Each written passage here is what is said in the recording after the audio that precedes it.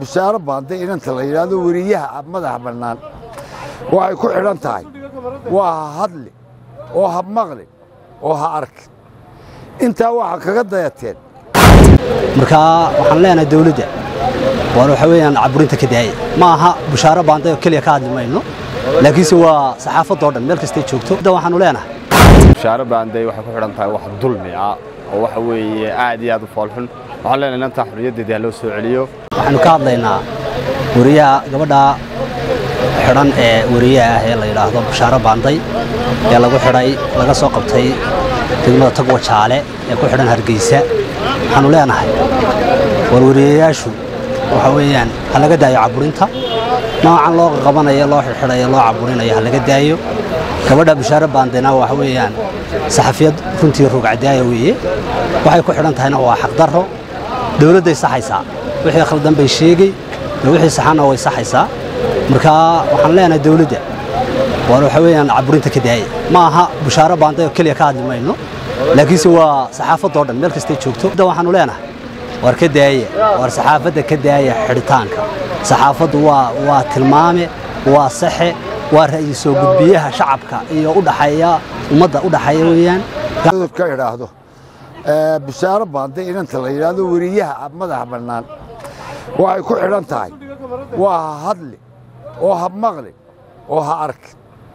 Intaa waxaa kaga dayateen dawladdii siyaad bare haddaba dawladda siyaad bare hablaha sidaa ma geli jirin mana jirdiri jirin raggu may dee laanta buur la taagi jirayoo badbaadada qaranka la taagi jiray hablaha sidan baa loogu xiri jiray. Maqas intoo la soo qaato. Bushaaro dee intaa intii ay maqaska ka marin jireen nimankaa wax kaga dana ka mariyo iska sii daaya waxaad tidhaahdaan qofka laba kelmadood yidhaahda bushaaro baande waa qaran dumis. Debnaheedaa yaryare dhowdhowbo waxaan ahayn ma haysato bushaaro baande. Maxay qaran ku dumisaa? Ma dubbay sidataa madax waxay calooshiisa shaqaystay soo soo kaxaysan kartaa. Ma dawlado kale la xidhiidhi kartaa? Waa inantaa yaree labada kelmadood xaqa u leh inay xurriyad hadasho. War waxaas waa caar bushaaro baanday waa caar. Saddex goor waxaan ku xidhaya waa caar. Waa caar waa caar waa caar. Oo maalmihii ugu dambaysay ku xidhnayd caasimadda hargeysa.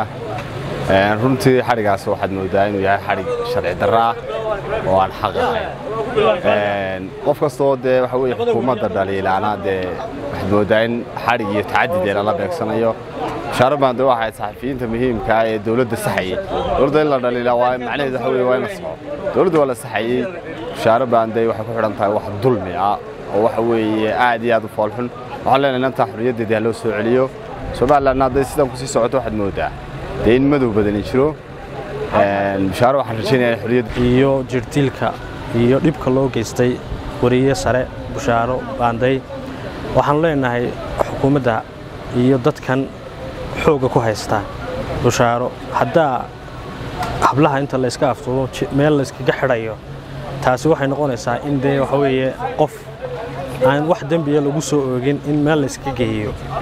Waxay noqonaysaa dhibaato weyn bay ka imanaysaa. Lamana aqoon tii koowaadna ma ahay waa tii labaad iyo tii saddexaadba marka waxaan leenahay gabadhu caar waa weriye waa qof. Saxafiyad ku xidhan magaalada hargeysa oo la yidhi waxay xidhnayd ilaa haddeer muddo laba usbuuca oo lix iyo toban cisho ah.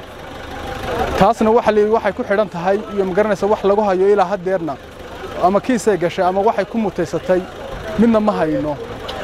Taasna waxaannu leenahay dawladda waa mid ma garanaysa qofka haddii aan kiiskiisa lagu baakin ama aan kiis lagu qaadin in layska xidho ama ma garanaysa xorriyaddiisa dee laga qaado iyadoo wax lagu caddeeyey ama wax ma garanaysaa ku bayaan ama khalad ay ku dhaqaaqday aanay jirin ama ku tallaabsatay ama aan lagu hayn waxaannu leenahay waa mid aad iyo aad looga fiican yahay.